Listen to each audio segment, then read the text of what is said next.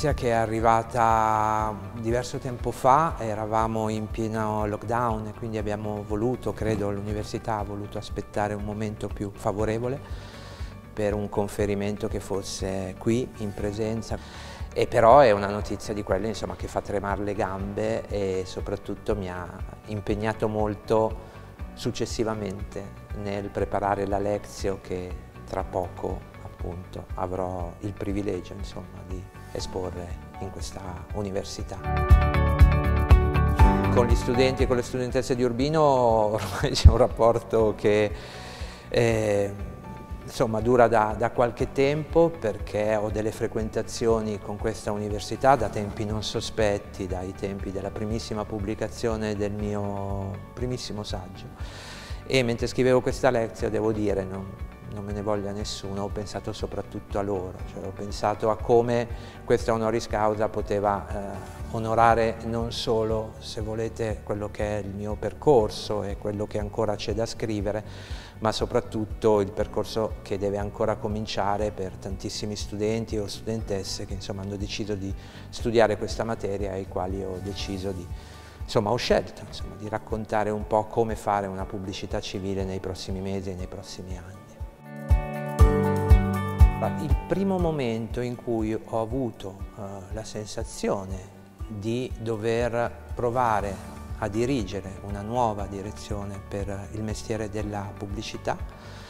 credo che sia proprio il 2007. Quello che è successo a Cannes, quello che stava succedendo nel mondo, la recessione economica che verrà da lì a due anni, mi hanno imposto una riflessione che poi è culminata dentro, dentro Invertising.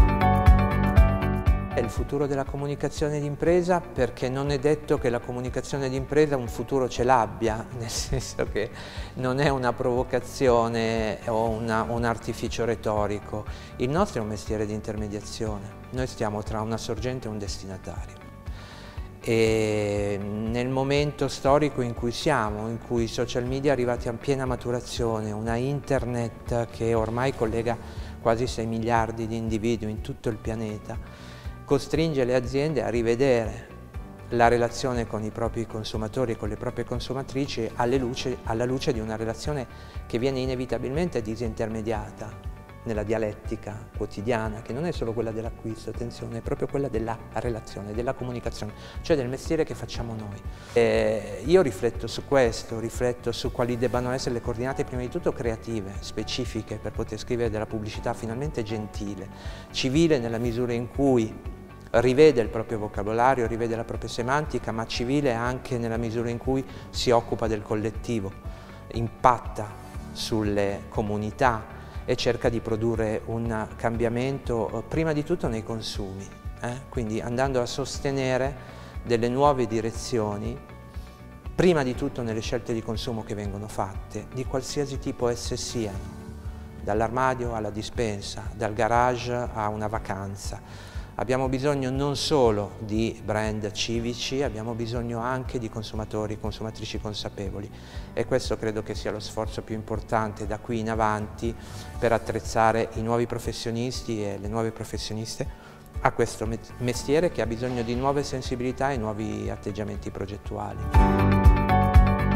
Il suggerimento che consegno a chi si laureerà dopo di me, eh, con più fatica probabilmente, e di quella che è toccata a me, anzi eh, in realtà non è così perché anche a me questa, in, in questo, questo, riconoscimento è costato comunque anni di mestiere e di impegno su un fronte di confine tra quello che è la pubblicità per il consumo e quella che è la pubblicità per il consumerismo, che sono due sport completamente diversi. Il consumerismo eh, si verifica laddove le persone si rendono conto che quello che compra può diventare anche un atto politico e quindi eh, ciò che mangiano, ciò che guidano, ciò che vestono può segnare le sorti di intere comunità o banalmente dei, eh, degli appezzamenti di, di, di, società civile che hanno, che hanno intorno. Il, il, suggerimento è in realtà lo eh, prendo a prestito dal distico con cui la uh, mia lezione si apre, una frase di Surf, uno dei fondatori del World Wide Web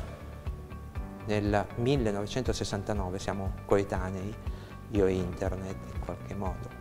E Surf dice di essere sempre un po' insoddisfatti, perché in realtà è l'insoddisfazione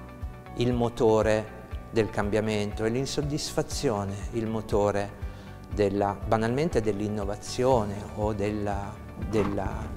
provare a cambiare le cose. Allora forse questo è il messaggio più importante da consegnare oggi a chi si laureerà dopo, dopo di me, in particolare in questa materia, un po' di sana insoddisfazione, che poi è quello che ha sempre detto il fondatore eh, dell'agenzia Ogilvy che ha cullato eh, buona parte della mia, della mia, carriera professionale. Oggi ho eh, iniziato un percorso professionale completamente diverso, autonomo e indipendente, ma per 18 anni sono stato dentro, dentro Ogilvy e David Ogilvy era solito ricordare a tutte le sue persone il mantra del divine discontent, che è quello del essere sempre un po' insoddisfatti di quello che abbiamo messo in pagina, perché fino a un minuto prima e anche un minuto dopo eh, si potrà migliorare. David Ogilvy ne faceva una questione esecutiva di framing, di, di, di, di layout, di, strategia, eh, mentre Surf ne fa una questione quasi socio sociologica o antropologica, un po' di malumore sempre, un po' di discontento, un po' di insoddisfazione può aiutarvi a eh, produrre quel cambiamento di cui avremo bisogno nei prossimi anni.